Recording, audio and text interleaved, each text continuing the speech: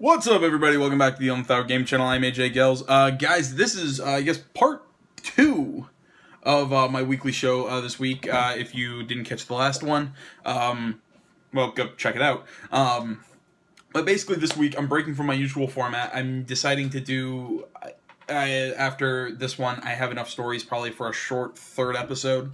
Uh, my first one went about 40 minutes, and I have about the same number of stories uh, on this one. Um, so the, the the basic idea is I'm kind of breaking from my usual format of uh, just one show at noon Eastern, 9 a.m. Pacific on a Friday. Um, I'm doing three just because there's so much post E3, you know, stuff that was on the floor that was just not in the press conferences. Um, so that's kind of what I'm covering with uh, with these videos uh, for my weekly show. Uh, but I will be back to the usual format uh, Friday, noon Eastern, 9 a.m. Pacific next week. Uh, please come check that out. Check out the Let's Plays I do on this channel. Uh, check out all my E3 uh, press conference coverages. Uh, you know, all those are also they're, they're, in their own playlist. They're also on the channel. Go check them out. follow me on Facebook, Twitter, my website down in the description below. Hit me up in the comments. Like, subscribe if you're enjoying the videos and want to help support the channel. you ever want to talk to me, always happy to chat with you guys in the comments. Um, without further ado, here we go. Uh, a kind of a short one, kind of short punctuated one to start off the bat. Uh, according to the official website for Crackdown 3, Crackdown 3 will be released in 2017 as opposed to the original 2016 release. Vince Ingenito of IGN. Um, honestly, I, I didn't know that Crackdown 3 was in development. I, I hadn't heard. Um, I, I really I didn't play Crackdown 2. I played Crackdown 1. Thought it was good. I thought it was fun. I, I had no interest to play the sequel, and here I am. uh, but no, I mean, I, I, I, I don't know. If uh, depending on when it comes out, uh, if I have the time, I'll probably play it. Maybe play it on the channel. So uh, keep your eyes out for that. Uh, sometime 2017 for Crackdown 3. Uh, PlayStation 4 owners will get a chance to play Call of Duty Modern Warfare Remastered 30 days before those on Xbox. the game in a basically in a in a deal um, with Sony. basically, the way it's going to work is that um, while it, words are words are kind of hard. Uh, while Modern Warfare, I believe, is supposed to be is set for November fourth. I believe that's the release date. Uh, it's set for November 4th right now. So basically, early October is when the PS4 owners should be able to get their hands on uh, Modern Warfare Remastered. Um, as opposed to those on Xbox, they'll have to wait the extra um, 30 days and get the game in November. Article by Jonathan Dornbush of IGN. Um, now into the actual the new modern war, uh, the new Call of Duty game, um, Call of Duty Infinite Warfare, um, or Infinite Warfare, not Infinity. Um, I'm very interested in this game. Uh, the little bit of gameplay that I saw, um, really interested me. Uh, uh you know, I and, and that's something because usually I'm not terribly excited for a um, Call of Duty yearly release. Um, this one really it kind of piqued my interest. You know, I kind of like the just the fluidity of the game between you know it's like you set where you want to go going into the uh, into your hangar flying your little starship you know dogfighting going boots on the ground back into your starfighter back into your ship and then you know I, I, I really like this loop. It's very interesting to me especially the fact that it's being done with no load time or it's seemingly from what i saw it's done with no load times. We'll see uh, come november when this game actually launches. Um, but yeah, I, I'm very excited uh, to see what Infinite Wars uh, Warfare is going to bring us. Um, but this is from um, uh, this is according to uh, Jacob Minkoff and uh, Taylor Kurosaki, uh, both of Infinity Ward. Um, it, they they're basically saying that Infinite Warfare, and I quote, is drawn from classic war movies, not science fiction. And that quote comes from the article, not from those two. Um, this was really interesting uh, to me uh, because you know I'm like, well, well, how is this more World War? Sorry, I'm roll. My chair is rolling on top of one of my cords. Um, how how does this work? The fact that because this seems super sci-fi to me. Um, but uh, the article kind of goes on and kind of talks about how they reference uh, movies such as uh, Black Hawk Down and uh, Saving Private Ryan for this movie. You know, this idea. Um, uh, Minkoff and uh, Kurosaki kind of went on, you know, kind of saying that the idea that that the kind of the themes that they're kind of touching on with this. Um, one is, and I quote, uh, "It's not about getting home. It's not about protecting his men. It's about completing the mission, no matter what. That's from you know, that's uh, what Saving Private Ryan, uh, you know, the main plot of that game is kind of or, or movies about. Um, so you know that that kind of idea, that kind of theme is brought into um, Infinite Warfare, and uh, as they put it, you know, it's like fighting for the guy next to you and Brotherhood, you know, from Black Hawk Down, um, which just kind of makes sense because this, from what I from what I remember from when this game got announced, uh, your main character kind of takes over the ship as the highest ranking officer after the you know the I'm gonna guess admiral, but I don't know whatever whoever runs the ship before after you know he's he uh, I believe gets killed in battle. Uh, your character then becomes kind of the new captain. Um, so I guess this is kind of he, he's being brought up to lead and to complete the mission. Yeah, he's also fighting for you know his brothers, and I I, I there I believe there are female soldiers, so brothers and sisters. Now, when I say men in this, I'm sure they mean men as in people, bodies on the ground. You know, that that idea, in a, uh, uh, you know, soldiers. Um, jeez. Um, but no, I, I, like I said, I'm very excited. Um, I think this campaign's hopefully, if they really do touch on these ideas, these themes, um, this Call of Duty is going to be much deeper, more in depth than we've seen from a Call of Duty game, uh, and I really think that's uh, that's going to be a good thing, and I cannot wait to see it um, come this November. Um, in, in a very interesting way of revealing a game, uh, Microsoft is handing out flash drives to the press that on, on these contain a, contain a file called Bulletstorm Remastered. The drive contain eh, this file and this drive basically contains screenshots and a and I quote slide that states the title will launch in spring 2017. Uh, that quote came from an article by Eddie Makuch at GameSpot. Um, I find this very interesting because I loved the original um, Bulletstorm. You know, it was, it was very arcadey. It, it was a not a new idea, but I mean, it was a big, over the top dumb shooter, and I loved the crap out of that game. Um, and I and I think it would look really cool on the next gen consoles. Cannot wait to see what's uh, what's going to happen with that. Um, but uh, basically, the original dropped back in 2011 um, by the developer People Can Fly, who recently, I believe last year, regained their kind of independence from um, Epic Games. So, in, it's also known that uh, People Can Fly. I remember talking about this oh, well, probably about a month ago uh, that they are currently in the works with a new AAA shooter uh, that will be coming in 2017. So this might be uh, what I mean. I doubt it because they're saying new, and you know, a Bulletstorm isn't new. Um, but it, but it will be interesting to see what's going to happen if this game actually does come out, which I really hope it does because I, I want to play that on this channel. That'd be a lot of fun. Um, I, I, got a lot of this information uh, from two articles, one by Eddie Makuch at GameSpot and the other uh, by Matt Porter of IGN. Speaking of first person shooters, I guess, uh, Sony has revealed its PSVR aim controller. Um, and I quote, uh, "It's an evolution of the old PlayStation Move sharpshooter." This is uh, that was pulled from directly from the article.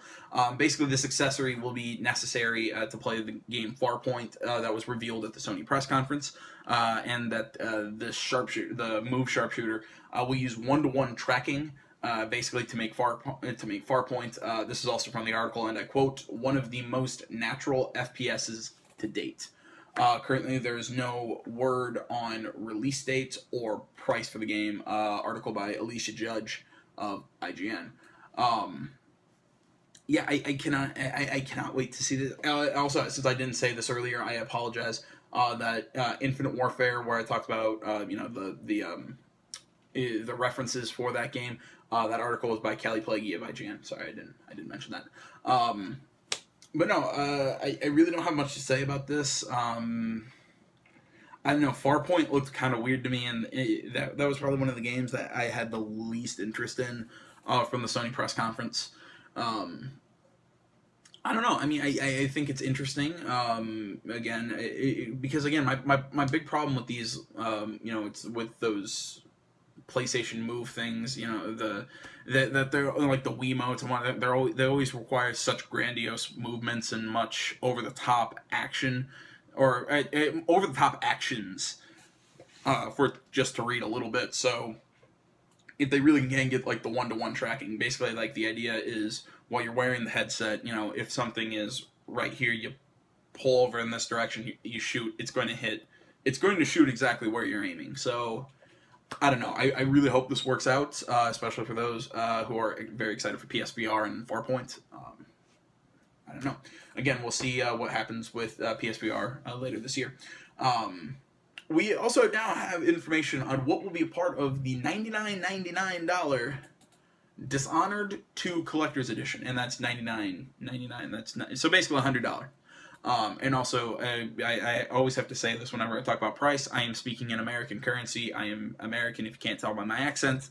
Um, so I am speaking in American currency. Um, basically, the collector's edition will include a um, replica of Corvo's mask. I believe it will be wearable.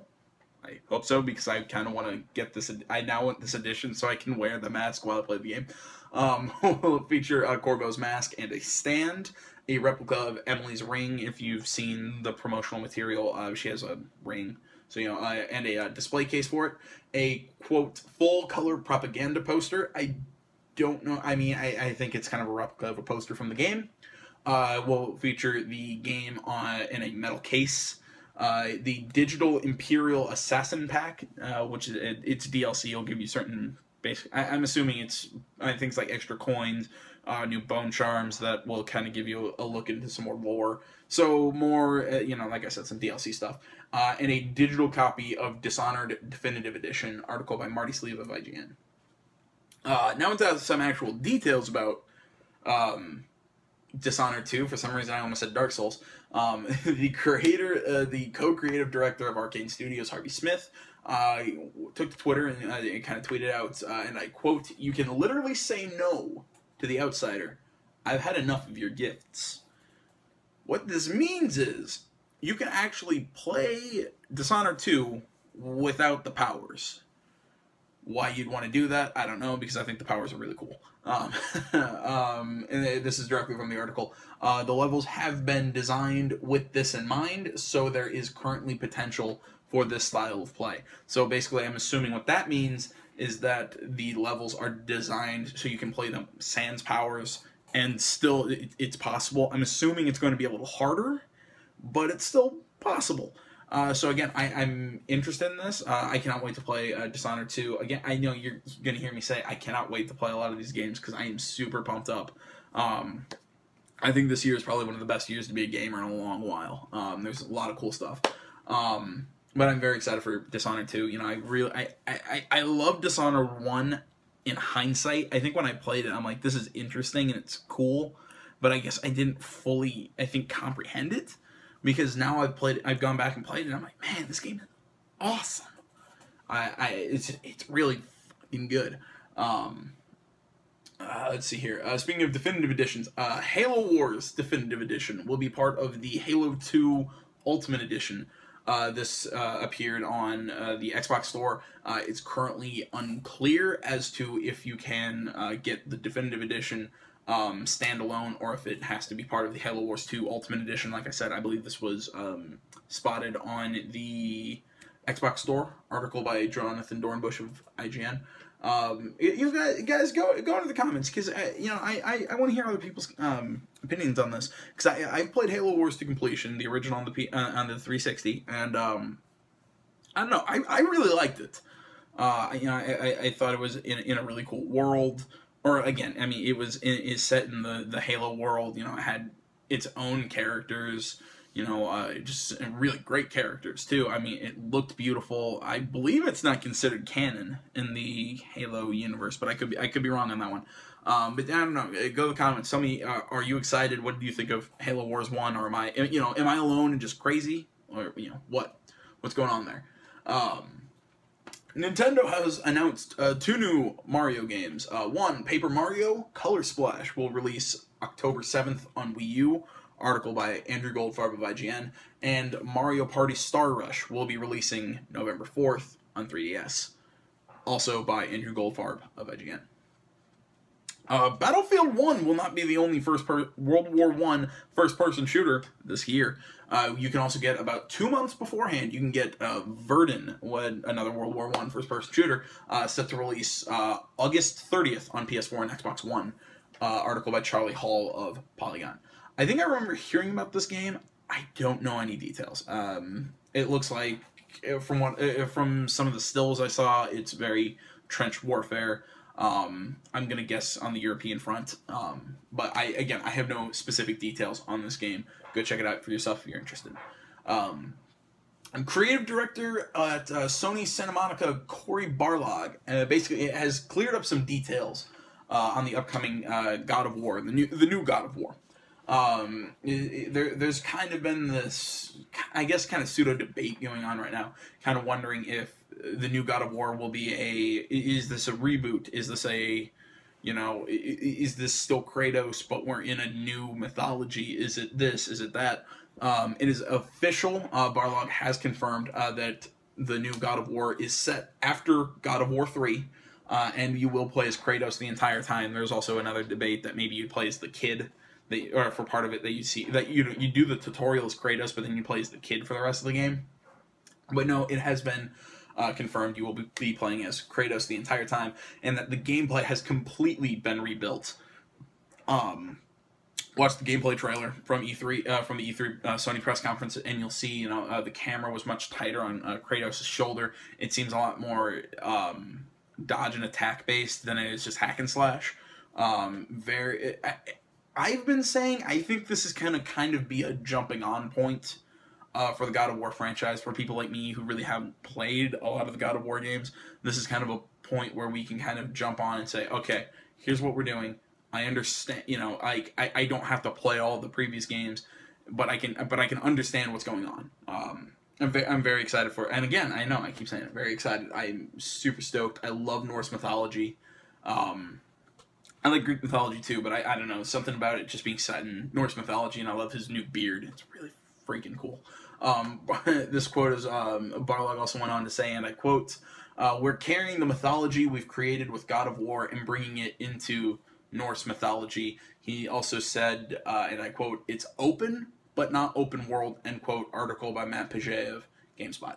Um, the way I'm interpreting that is it's going to be something kind of like Alan Wake, where there will be exploration that you can kind of go off the beaten path um, but it will. I'm. Uh, but I believe it'll be a, a linear story and uh, you know a linear areas that you know there is one path to completion, but you can kind of branch off and maybe get a weapon or a power up or something. Um, sorry. Microsoft has announced a remaster of the 2005, uh, this is how the article describes it, card strategy action game uh, and will release in 2017. And I just noticed when I was talking about that, I didn't uh, actually put the name of the game in there. Phantom Dust uh, will be available uh, for play in 2017. Article by Joe Skrebels of IGN. Um, jeez. Uh, kind of now into uh, probably a big theme that was going on at E3 this year. Um, zombie games. um, some of my State of Decay 2 questions uh, have been answered in an article by uh, Ryan McCaffrey of IGN, uh, specifically as to whether or not this game will be an MMO or a co-op multiplayer, or what what's this one going to be? And I now have my answer. It will not be an MMO. Uh, it will be a. It will feature four-player drop-in, drop-out co-op. Uh, I believe similar to what uh, Ghost Recon Wildlands is going to have. Um, and does not require an internet connection. I'm not 100% sure if that means you if there's couch co-op or if that just means I can play by myself and don't need to be hooked up to the internet at all. I hope it means the latter, not the former. Um, latter being the second. Um, so that, that's uh, you know I'm again I'm a big State of Decay fan. I love the original. Um, it, it's just it, it's such a cool idea that just this big open world just. It, it's one of the few times I will praise a game for not being super narrative just for the fact that the game it's so much fun just to kind of go and scavenge and explore in that game kind of make your own story and again i'm also not a um, defender of the you know make your own story kind of games but i'm i like state of decay it just had this kind of goofy atmosphere uh, with very simple combat but it was so much fun just to like i said run around and loot and scavenge and uh, deal with other survivors. I, I, I, cannot wait for this game. I mean, it, it, it cannot get here fast enough. Um, I believe coming out next year. Um, and uh, the graphics engine has been upgraded. Uh, State of Decay 2 will be using the Unreal 4 engine uh, as opposed to the CryEngine tech that it used in the previous game. Or, like I said, article by Ryan McCaffrey of IGN. Um, and if anybody out there is wondering why I might have thought that this game would have um, been an MMO, the original State of Decay was planned as an MMO. Uh, at, at, least from what I from what I remember hearing, that you know it was planned as an MMO, uh, but then became a single player experience. Um, I, I thought that one had co-op, but apparently not. Um, let's see here. Uh, Resident Evil Seven Biohazard. Uh, if any, you know, uh, if any of you out there are PlayStation Plus subscribers, uh, you can go and play the demo right now. It's free for um, download on PlayStation Store. Um, although it has been confirmed that this will not be a part of the main game, uh, and the game will also release uh, January twenty fourth, twenty seventeen. Article by Alex Osborn of IGN. Um, in another article I was reading, you know, they were answering some questions um, that I guess some people have been having. Uh, one, it's that um, I'm trying to think here uh, exactly. Like Resident Evil Seven is it, it, it's the next numbered franchise, numbered game in the franchise. Um, but again, it seems like another jumping on point um, because I, I, don't think I think it's a new experience in the world and in the lore. Um, but it you know it will be I guess kind of will play into the overarching narrative of the Resident Evil franchise. Um, I think here uh, the entire game will be in first person, uh, whether you play in VR or not. Uh, you know, and again, if you hear me say VR or not, uh, you can also you don't have to play in VR. It does support VR, but it is uh, not a requirement to play the game. Uh, it heavily was inspired by Resident Evil One and American style horror films. So I don't I don't know exactly how that would change it. Um, you know, be, Resident Evil being a Japanese game, I I always thought it was very heavily um, uh, inspired by Japanese horror, which I, I, I really don't know. It, Japanese horror is really weird, and I mean there have been a few American um, Jap- uh, uh, uh American horror movies that were um, uh, adapted from Japanese horror. I believe The Ring being one of them. Um, just it, it, it, it's I don't know exactly how that's going. Maybe it will make it less scary to a westerner westerner like me. I think maybe they're kind of going for a new aesthetic, um, kind of like how this game will be in first person, not third, which kind of weirds me out. But I don't know. I'm interested. We'll see how it goes. Um, I'm I'm trying to think. There's one there's one other thing in there that made sense that I thought was interesting. Um, I can't think of it. Um, but like I said, um, Resident Evil 7 Biohazard, uh, January 24th, 2017. Keep your eyes out for it. Um, now, probably to the thing that caught, or that piqued my interest the most, uh, not just during the Sony press conference, but I think all the E3 press, press conferences combined, really just E3 in general. Uh, the game, uh, Sony Bend's Days Gone. Uh, the game absolutely fascinated me. You know, it has the, it had this beautiful look um, kind of a semi-roguish character in a post-apocalyptic world. You know, I I love that kind of stuff. You know, it's like this game. From everything that I've been reading about it, it seems like it's kind of like the open world Last of Us game that I wanted. um, I have, like I said, uh, I have some more details on the game. Uh, this game you will be playing as Deacon St. John, a drifting bounty hunter and a former biker gang member. Uh, this game takes place two years after a global disaster uh, that apparently wipes out most of Earth, most of the Earth's population and uh, turned a majority into things or the the zombies in this. They're um, the, the zombies in this game called the Freakers. Uh, they are not dead and there are a lot of them. um, if you go, you check out the uh, the gameplay trailer or gameplay reveal um, of Days Gone from the end of the Sony press conference. That I mean, like you know, it shows Deacon just like just thousands of these things coming at you. You know, it's like he's basically you know like standing and shooting. I think there was another article that I read said if you had unlimited ammo in that game and you just stood and shoot, you will not have enough bullets to take out all of them. Um, I, I'm very excited for this game. Uh, like I said, this this was the one that I think interested me the most, um, and I and I think this quote uh, from the PlayStation blog I think kind of wraps it up everything together of what the freakers are. It says, and I quote: "Eat, move, and attack together, almost as one."